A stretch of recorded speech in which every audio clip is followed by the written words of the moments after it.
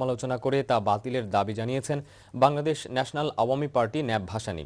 সকালে রাজধানীর মুক্তাঙ্গনে এক মানববন্ধন কর্মসূচিতে তারা এ শিক্ষানীতিকে ধর্মহীন বলে আখ্যা দেন। বক্তারা বলেন, সরকার এশিয়ান হাইওয়ের নামে ভারতকে করিডোর দেওয়ার যে পরিকল্পনা করছে, তাতে দেশের জন্য ভয়াবহ দুর্দিন অপেক্ষা করছে।